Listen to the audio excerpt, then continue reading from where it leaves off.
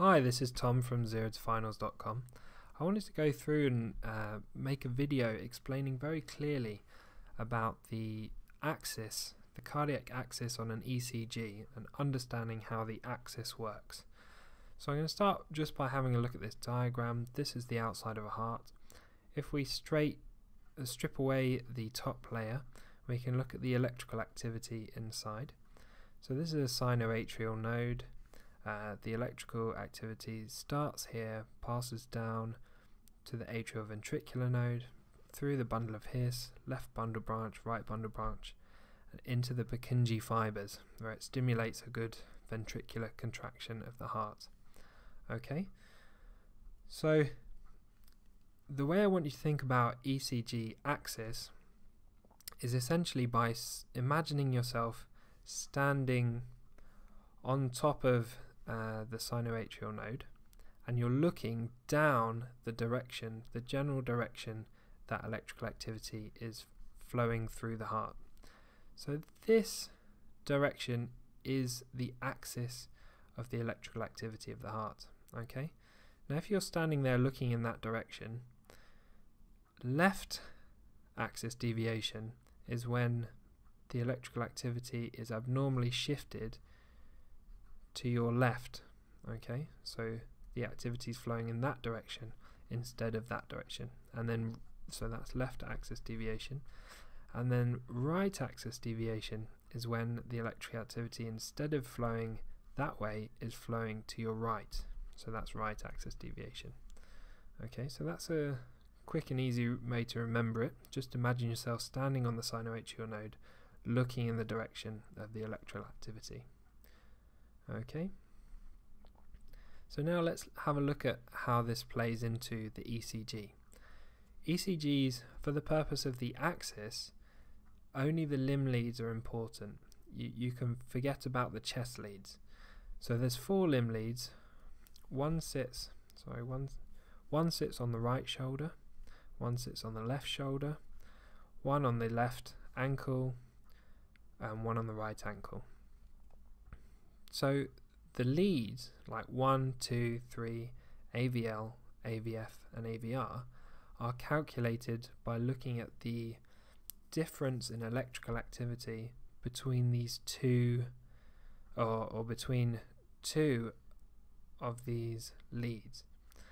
So, for example, electrical activity that moves in the direction from the right shoulder to the left shoulder will be traveling like that and cause a positive rise in lead 1 because lead 1 is going in that direction along with electrical activity that direction. Then lead 2 is measured from the right shoulder to the left foot so down like that at 60 degrees and lead 3 is measured from the left shoulder down to the right foot so down like that direction so it's at plus 120 degrees okay now the normal axis the normal cardiac axis is from minus 30 through to 90 degrees so that is all normal okay so the general electric activity can be traveling in that direction that direction, that direction. That's all within the normal range. Now, when it's rotated out of the normal range, so past minus 30, that's left axis deviation, and then past 90 is right axis deviation. Okay, so quite simple to remember and follow so far. Okay, so how do we calculate from an ECG whether somebody has left axis deviation or right axis deviation? Well, the answer is you look at whether the leads are positive or negative. So, like I said, lead 1, for example, is calculated from the electrical difference between these two. If electrical activity is going in that direction, it's going to be positive because there'll be a, a, a movement of electricity from that side to that side. If electrical activity is travelling at exactly 90 degrees to lead 1, so exactly downwards, there'll be no difference in electrical activity between here and between here. So this is what's called isoelectric. So it will be neither positive or negative. Now if the electrical activity is travelling in that direction, remember this is a right axis deviation, then in fact, generally there is a negative flow of electricity across lead 1. So you'll have a negative value.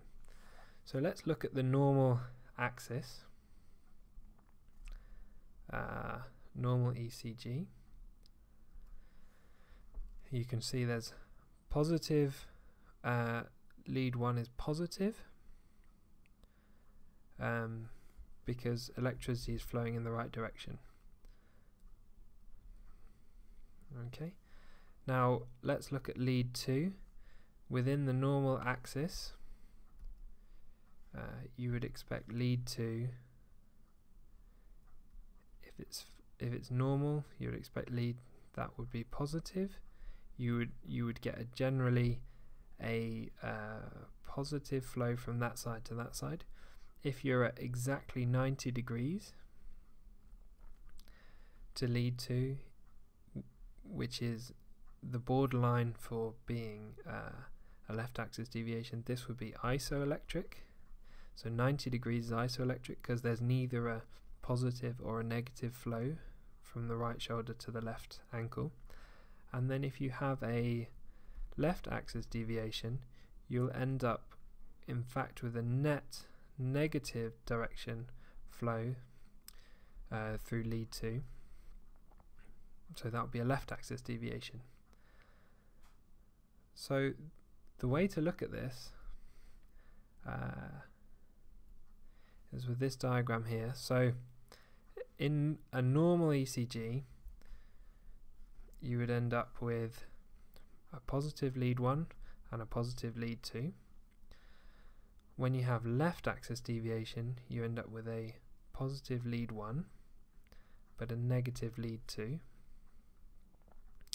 and when you have a right axis deviation you have a negative lead 1 and usually a positive lead 2 but this is more sort of isoelectric and a positive lead 3 so lead, lead 3 actually you don't need to pay too much attention to for calculating the axis. So one easy way to remember this is just this phrase the axis was left to the right one so if you imagine the axis, this tells you which one becomes negative in which axis deviation. So the axis was left to the right one. Okay, so left 2, if 2 is negative, it's a left axis deviation. If 1 is negative, it's a right axis deviation. So the axis was left to the right one. Okay. So the other thing you can work out is by looking at which lead is isoelectric, meaning neither positive nor negative, you can figure out which exactly what the axis is. So if we look at this ECG for example, now let's say we wanted to calculate whether there was a right or left axis deviation. We'd look at lead 1 and 2. So we can see lead 1 is positive. So that's positive. We can see lead 2 overall is about negative. Therefore, the axis was left 2, so left axis deviation, the right one. So we've already calculated that's left axis deviation. Now we can calculate the exact axis by looking at which one of these leads is isoelectric, meaning neither positive nor negative. And I would say generally AVR is about isoelectric, looking at this diagram here. So if we go back to our diagram here, we decided AVR was isoelectric. Okay.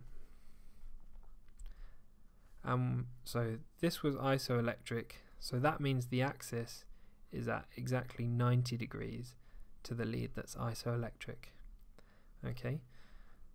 Now we said there was a left axis deviation, so the axis must be going in exactly that direction 90 degrees from here Okay, so that's 150. If we uh, add 90 degrees onto that, we get minus 60 degrees. Okay, so we know that looking at this exact ECG here, one second, that the axis of this ECG is 60 degrees, minus 60 degrees, and we have a left axis deviation. So hopefully that clarifies axis of the ECGs a little bit more. If you'd like more videos like this, uh, you can like and subscribe on YouTube. Uh, if you'd like more information on the ECG axis and what actually causes a right or left axis deviation, please head over to zerotofinals.com and there'll be all kinds of notes and uh, diagrams and more videos all about this stuff and further information. So thanks for listening. I uh, hope you enjoy the video and see you next time.